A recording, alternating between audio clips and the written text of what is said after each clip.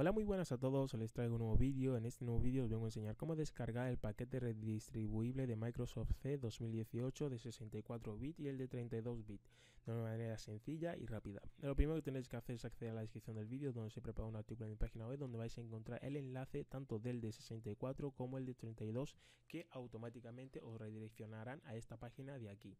Una vez aquí, pues eh, dependiendo del que seleccionéis, para saber qué sistema, qué tipo de sistema tenéis, vuestro sistema operativo, muy fácil, vais a ir a un explorador de archivo cualquiera, vais a ir a donde pone mi equipo, este equipo en mi caso, propiedades, y aquí donde pone tipo de sistema, en mi caso es 64, por lo tanto yo me descargaría el que pone sistema operativo de 64. El de 64 pone claramente X64, pero los que tengáis puesto aquí 32 bit tendréis que descargaros este que pone eh, X86.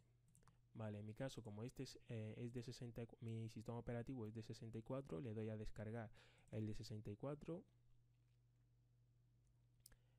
Una vez descargado, hacemos clic, nos va a pedir los permisos de administrador, se los concedemos. Aquí le damos al siguiente, aceptamos la licencia, esperamos un poco y listo, le damos a finalizar y ya se ha instalado correctamente sin ningún problema. Eh, importante siempre que lo descarguéis todo este tipo de programas, en descargarlo de fuentes oficiales como Microsoft. Y eh, esto sería todo, compañeros. es la primera vez que ves uno de mis vídeos, suscríbete al canal marcando la campanita para recibir las notificaciones de cuando suba nuevo contenido al canal. Y nos vemos en el próximo video tutorial. Hasta la próxima.